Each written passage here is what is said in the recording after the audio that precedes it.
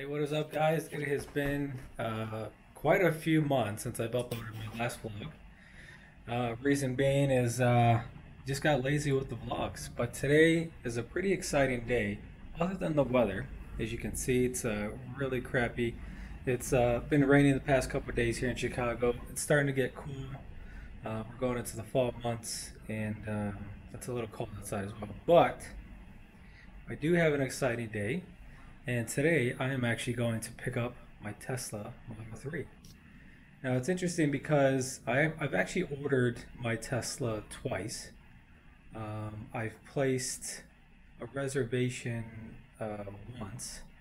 So I've had this thing ordered before, but I actually canceled the order. Uh, reason being is that um, the first time I placed an order, I found out that my parking garage in my building where I live currently, uh, the parking fee went up quite a bit. Uh, it's not cheap to park in downtown Chicago. So I canceled my order because it would kind of kill uh, the budget that I had for the car. I did find a parking garage that's not too far away that's a lot cheaper. So I placed my order again. Uh, I want to say probably two weeks ago. I think it's going to be uh, almost two weeks um, since I actually placed the order. And so today I'm going to go pick it up. Um, the Tesla store is probably about 10 minutes from here. Uh, I'm going to take an Uber. Uh, in case you're curious what kind of, uh, um, what is it, what kind of, it's not the model, but what package I got. I ended up just buying a standard range uh, Tesla Model 3.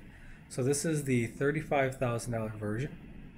I did actually upgrade, I did actually do uh, an interior upgrade. So I went with the white seats. Um, for me, that was an absolute must. And you do get a few extra features if you do the interior upgrade. And then I also went with the blue color, which also does cost a little bit extra. So uh, total out the door, I think it was somewhere around 30, 39,000, close to 39,000. Um, so really looking forward to. I'm pretty excited, and I will take you guys with me.